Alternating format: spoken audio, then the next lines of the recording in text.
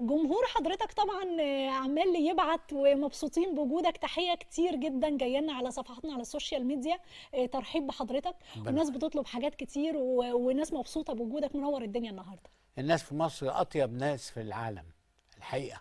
آه. يعني عارف حضرتك لما سمعوا المزيكا بتاعت لونجا آه. في الجولدن جلوب بتاعت خد آه خدت فلوسك؟ كلهم بيطمنوا عليه ده اتعمل من من أكتر من خمس سنين. آه. ناس بقى تقول لك أنا محامي هرفع لك قضية بس ومش هتكلفك حاجة. يعني الناس طيبة بشكل واحد من من معاهم آه حاسين انه لا اتأذى لا نقف معاه. آه إيه الجمال ده؟ إيه الجمال ده مش هتلاقيه في أي حتة تانية في الدنيا الحقيقة. آه الطيبة المصرية آه، حضرتك من طنطا مش كده آه، فندم؟ آه. وطيبة طنطا وجمال طنطا طلعت بدري في الموسيقى بتاعت حضرتك يعني تقدر تقول إنه المكون الرئيسي كان الجملة المصرية وجملة طنطا والمحيط بتاعك هو اللي خلاك تحط هذه البصمات ال- السابقة من بدري؟ ده كلام جميل ومظبوط جدا جدا ما عدا إنه. الجمل المصرية. آه. إحنا دولة من أغنى الدول اللي في العالم آه. بالتعدد ال- الغنائي. آه. فأنا في طنطا طبعا الشيخ النقشبندي ده أول, أول حاجة. آه. ده يعني قصارة السماء. آه. وبعدين الموالد مليان موالد عندنا لأن إحنا في نص الدلتا بالظبط. آه. وكل الناس بتيجي الموالد بتاعتنا. مولد سيدي السيد مولد الشيخة صباح مولد سيدي الرفاعي أو هلم جرا طول السنة موالد. كنت بتحب الموالد حضرتك؟ طبعا آه. طبعا خصوصا الليلة الكبيرة بتاعت كل مولد دي ما آه. ولغاية النهارده أنا بروح الليلة الكبيرة بتاعت سيدي السيد آه. بس.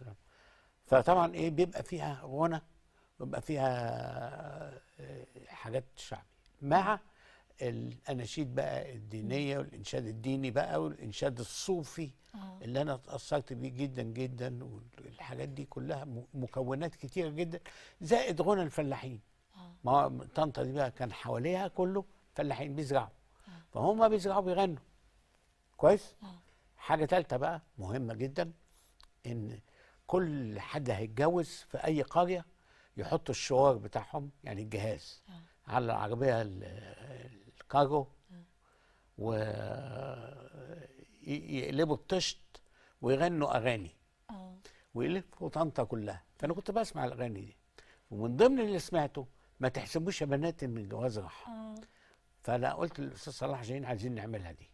قال لي ده الأستاذ كمال الطويل سبقك وخد اللحن وعمل بلدي يا بلدي بلد الصغر قلت له لا أنا ماليش دعوة باللحن إحنا بس عايزين ناخد مطلع الكلام ده وتبني لنا فوق لأن أنت عارفة حضرتك ال- الغنى الش- الشعبي الفلاحي دايما فيه ألفاظ عاريه ما تنفعش تخش كل آه بيت. ما تنفعش آه. بس هي بقى بتبتدي بقى ما تحسبوش يا بنات إن الجواز راحة ولا تزعلوش يا بنات إن قلنا بصراحة إن الجواز عمره عمره ما كان راحة. آه.